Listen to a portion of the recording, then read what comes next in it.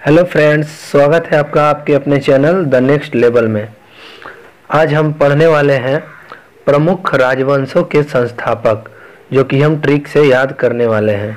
क्योंकि ये क्वेश्चन जो है एग्ज़ाम में एक ना एक पूछा ही जाता है तो इसमें काफ़ी काफ़ी कन्फ्यूज़न भी होती है। तो इसे ट्रिक से याद करने पे कन्फ्यूज़न नहीं होगी हमें तो ये कम से कम 20 से 25 होंगे हमारे पास, जिसे हमने ट्रिक से बनाया है। तो आइए देख लेते हैं। तो पहला क्वेश्चन है चोल वंश के संस्थापक कौन है? इसका आंसर है, विजयालय। तो हम इसे याद करेंगे कि कहीं भी चलते हैं या हम जाते हैं तो किस लिए जाते हैं? तो विजय हासिल करने के लिए जाते हैं।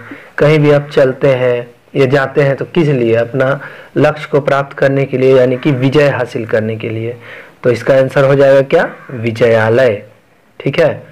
ये थोड़ा सा आपको मजाकिया टाइप का लगेगा दोस्तों, लेकिन इसे याद रखने में अच्छी, आपके लिए अच्छी होगी। अगला है राष्ट्रकूट वंश के संस्थापक कौन है? इसका आंसर है डी, यानी कि दंती दुर्ग।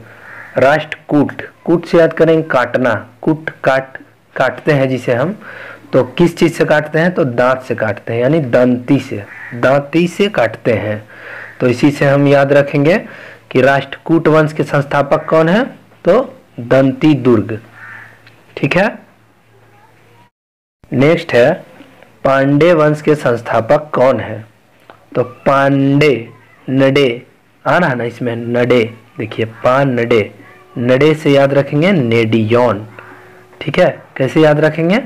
पांडे वंश के संस्थापक तो पान नडे। नडे आ रहा है इसमें, पान नडे। तो नडे से नेडियोन। ठीक है? नेक्स्ट है, गुलाम वंश के संस्थापक कौन है? ठीक है? तो इसका आंसर है सी यानी कि कुतुबुद्दीन ऐबक। इसे याद रखेंगे हम बकने से, ठीक है? ए बक ए बक मत, नहीं तो तुम्हें हम गुलाम बना देंगे, ठीक है? तो बड़ा बड़ा राजा लोग, महाराजा लोग जो होता है उन लोगों के सामने पहले मजदूर लोग बोल नहीं सकता था, बक नहीं सकता था कुछ। नहीं तो उसे क्या करते थे वो? गुलाम बना देते थे। तो इसी से हमको याद रखना है, गुलाम वंश के संस्थापक कौन है?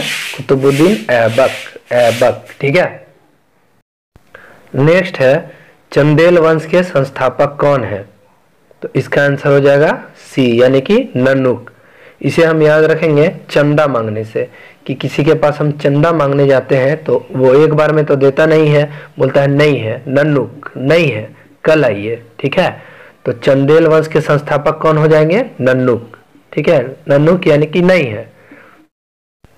नेक्स्ट है, परमार वंश के संस्थापक कौन है? तो इसके लिए ट्रिक है कि एक लड़का था, उसका नाम था उपेंद्र, ठीक है? तो उपेंद्र जो था, वो बहुत मार करता था। कहीं भी जाकर वो मार करता था, ठीक है? तो इसी से हम याद रखेंगे, परमार वंश के संस्थापक कौन है? उपेंद्र। नेक्स्ट है, लोहार वंश के संस्थापक कौन है? तो इसका आंसर हो जाएगा, संग्राम राज। इसे हम याद रखेंगे, संग्राम, यानी कि किसी से हम संग्राम या लड़ाई करने के लिए जाते हैं।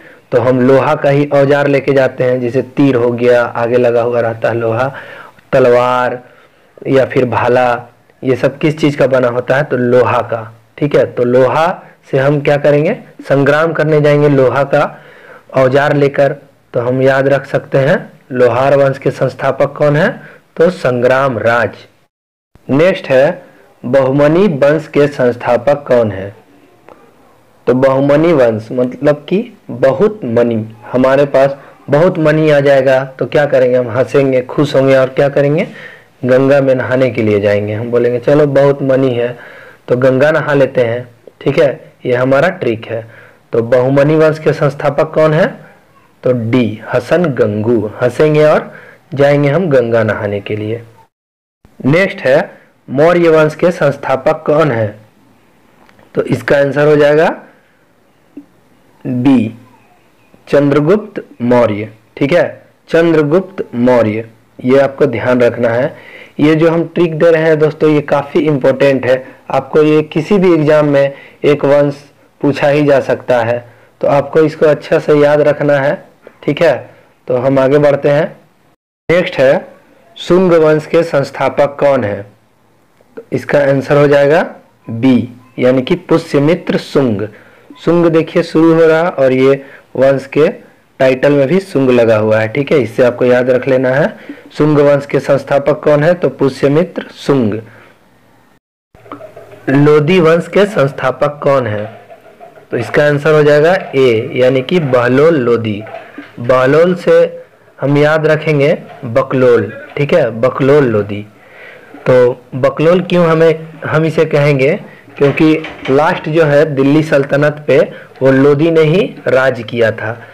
तो दिल्ली सल्तनत के लास्ट यानी कि ख़त्म कर दिए थे कौन? तो लोधी लोग। तो लोधी क्यों ख़त्म कर दिए? क्योंकि वो बकलोल थे। ये हमारा ट्रिक है। ठीक है? तो बकलोल लोधी, इसी से हम याद रखेंगे। गुलाम से दिल्ली सल्तनत शुरू होता है और आखिरी किसमें होता है जाके? लोधी में। नेक्स्ट है, खिलजी वंश के संस्थापक कौन है? इसका आंसर हो जाएगा सी, जलालुद्दीन खिलजी। तो इसे हम याद रखेंगे खुजली से। जो हमें खुजली अगर हो जाती है तो वहाँ ज़्यादा हम नोच देंगे या फिर रगड़ देंगे तो वहाँ हमारा जलने लगता है। तो जलने से याद रखेंगे जलालुद्दीन खिलजी। तो इसे कैसे याद रखेंगे दोस्तों? खिलजी वंश के संस्थापक कौन है? तो जलालुद्दीन खिलजी। जलने लगता है तो इसी से याद रखेंगे जलालुद्दीन। नेक्स्ट है, भोसले वंश के संस्थापक कौन है? तो इसके लिए हमें याद रखना है शिवाजी। भोसले जो है, वो महाराष्ट्र में निवास करते थे। पहले से अभी भी वो वहीं के हैं। महाराष्ट्र के, इसके लिए हमें कोई ट्रिक बन नहीं पाया है। अगर आपको कोई ट्रिक लगता है दोस्तों तो आप बना सकते हैं इसके लिए। तो भोसले वंश के संस्थापक कौन है? तो शिवाजी। नेक्स्ट है चौहान वंश के संस्थापक कौन है? इसका आंसर है वासुदेव। तो इसको याद रखेंगे हम, चौहान। चौहान लोग जो है, काफ़ी दिनों से, काफ़ी दिनों से यहाँ वास कर रहे हैं। मतलब वो बहुत पुराने हैं यहाँ के, भारत के चौहान। तो वह बहुत पुराने दिनों से यहाँ वास कर रहे हैं मतलब रह रहे हैं। तो उससे याद रखना हमें वासुदेव। ये पृथ्वीराज चौहान हमें नहीं ध्यान देना है, ठीक है? ये इसमें क्या छुपा हुआ ट्रिक हमारा? चौहान वंश के संस्थापक कौन है? तो चौहान ये जो है, यहाँ के बहुत पुराने निवासी है, चौहान। तो निवासी जो है, वो यहाँ क्या करते हैं? वास करते हैं, यानी कि वासुदेव, ठीक है? अगला है, सेन वंश के संस्थापक कौन है? तो सेन वंश के संस्थापक है सामंत सेन। इसमें टाइटल में ही देखिए सेन लगा हुआ है। तो ऐसे कुछ है जिनके टाइटल में ही उसके वंश के नाम छिपे हुए हैं। तो इसको आपको ध्यान रखना है। तो सेन वंश के संस्थापक कौन है? सामंत सेन। नेक्स्ट है, नंद वंश के संस्थापक कौन है? तो नंद नंद आ रहा है। तो इससे हम याद रखेंगे महापद्मा नंद ठीक है? चंद्र नंद या नरसिंह ये सब नहीं है। तो नंद वंश के महापद्मानंद नंद। में देखिए नंद लगा हुआ है तो इसे आप याद रख सकते हैं। नेक्स्ट है, गुप्त वंश के संस्थापक कौन है? तो इसमें देखिए आप गुप्त लगा हुआ है फ़र्स्ट में तो यहाँ से हम याद रख लेंगे श्री गुप्त ठीक है? गुप्त का श्री गुप्त अगला है, पाल वंश के संस्थापक कौन है? तो पाल वंश के संस्थापक आपको याद रखना है गोपाल। पाल वंश के संस्थापक कौन है? गोपाल। पाल में देखिए, लगा हुआ है। गो में पाल तो गोपाल, ठीक है? ये धर्मपाल, विजयपाल, ये नहीं है। आपको गोपाल, ठीक है? इसको ध्यान रखना है आपको। नेक्स्ट है, मुगल वंश के संस्थापक कौन है? तो ये तो आप सभी को याद ही होगा, बाबर। लेकिन हम कुछ बता देते हैं, जिससे आपको अच्छा से याद रह जाए। बाबर बर मतलब बड़ा, बर बर है वो, ठीक है? तो बड़ा बड़ा कौन होता है? जो जो वंश का स्थापना करता है, ठीक है? वो बड़ा होता है, यानी बड़ होता है, बड़। तो मुगल मुगल वंश के संस्थापक कौन है? बाबर, ठीक है? तो ये था हमारा कुछ क्वेश्चन जो ट्रिक के माध्यम से आपको वंशों के नाम हमने याद करवाया है दोस्तों। अगर आपको ये अच्छा लगता है तो चैनल को ज़रूर सब्सक्राइब करें और वीडियो को लाइक करें।